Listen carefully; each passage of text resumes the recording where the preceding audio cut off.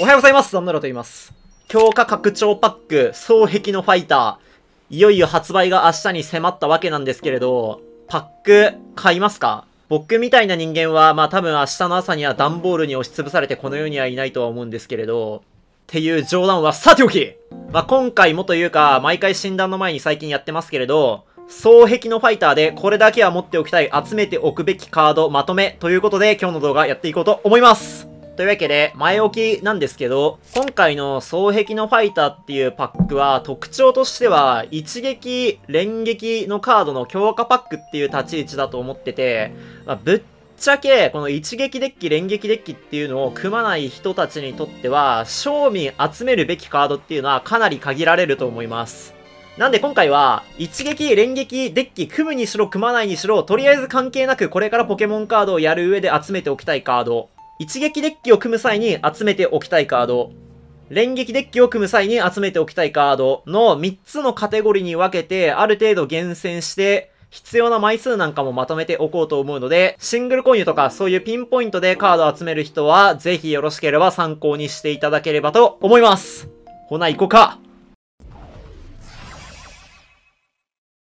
というわけで、まず1つ目のカテゴリー。一撃、連撃デッキ関係なく、とりあえずポケモンカードやるなら集めておきたいカード。まあ大体予想つくと思いますけど、一つ目、ガラルファイヤー V。正味ね、今回の段、こいつが個人的にはマジで一番集めておきたいカードまでありますね。このガラルファイヤーとエネルギー付け替えを併用するというか、セットで使用することで、どのデッキにも入る悪エネルギー加速要因になるんですよね。なんで今後、本当に様々なパターンっていうか、様々なデッキでの活躍が見込めると思います。特に環境トップの一角と言われる無限大なデッキには、まあおそらく今後ほぼ必須レベルで入ってくるようなカードになると思います。このカードはぜひエネルギー付け替えと合わせて集めておきたいカードの1枚ですね。ただこいつの特性自体はターンに1回という制約があってベンチに何匹もいてもしょうがないので、まあ集めといて2枚、多くても3枚ぐらい持っておけばいいかなっていう感じです。で、2枚目。ガラルサンダー V。まあこれも大方予想できた方多いと思います。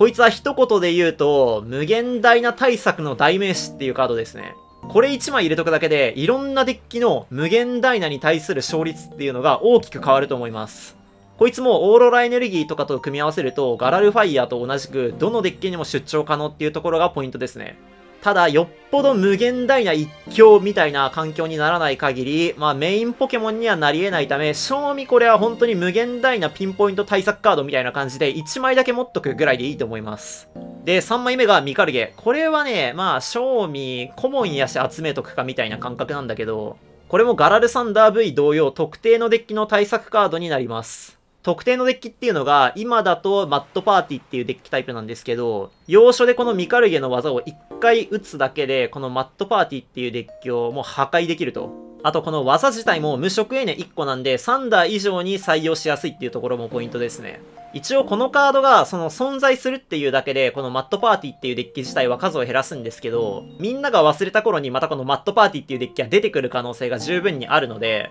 特にこのマッパに弱いデッキっていうのを握って大会に出る際には、このミカルゲは今後選択肢にはなると思います。まあただ対策するにしても、賞味1枚デッキに入ってれば十分なんで、これも1枚だけ持っておきましょう。で、最後にもう1枚。これは山彦本かなこいつは連撃のカードで、連撃デッキに入れるのが、まあめちゃくちゃ強いんですけど、実は連撃以外のデッキでもかなり活用できそうな効果してますね。相手のベンチ枠を埋めて展開の妨害をしつつ、クロバット V とかデデンネ GX とか、その辺の餌になるようなポケモンを呼べるとかなり強いです。人によっては三振のデッキに今後入れる人がいるかもしれないです。ただ、刺されば強いんですけど、めちゃくちゃタイミングを選ぶカードではあるので、まあ相手のベンチポケモンを利用するようなデッキじゃない限りは、入っても1、2枚のような気はします。当然なんですけど、連撃デッキとは超相性がいいです。って感じかな。で、こっからは、えっと、一撃連撃デッキをこれから組む人用に、これからどの一撃連撃デッキを組む際にも選択肢になり得るカードっていうのをまとめといたんで紹介しとこうと思います。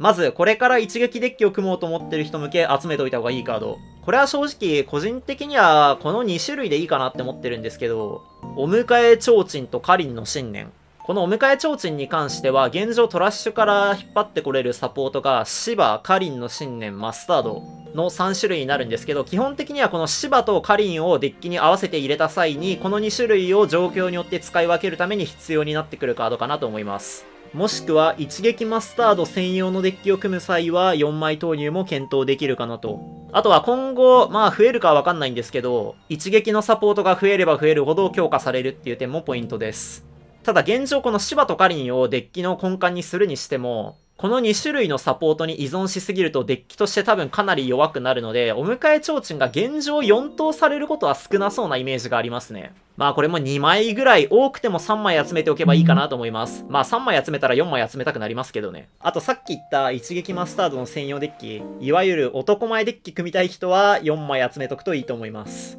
で、一撃の2枚目、カリンの信念。こいつはとにかく火力の増加の幅っていうのがめちゃくちゃ大きいので、今後一撃デッキには1枚ぐらいは入ることが多いんじゃないかなっていうような気はします。さっきのお迎え提灯以外にも普通に私らが V のハッピーマッチで使い回すこともできるので、お迎え提灯なしでもデッキにピン差しする可能性っていうのは大いにありますね。ただこのカードもその自分の展開用としては使えない上にタイミングをかなり選ぶカードなので、まあ、デッキに入っても1枚、多くても2枚、2枚も入ることあるかなっていう感じのカードなんで、まあ、1枚ぐらい持っとけばいいと思います。個人的に今回の段で一撃のカードで集めておきたいカード、この2種類ぐらいなんじゃないかなっていう風に思っちゃいますね。ただ専用デッキ組む際はもちろん一撃裏押すなんかもまあ集めればいいと思いますけど。で、こっから最後、連撃のデッキを組む際に集めておきたいカード。連撃はね、正直今回、一撃以上にかなり強化されてるイメージがありますね。すごく優秀なカードが多いと思います。一つ目が、バシャーモ V、バシャーモ VMAX のライン。こいつはとにかく VMAX の大ブレイズが無色 2N で打てるっていうところがポイントで、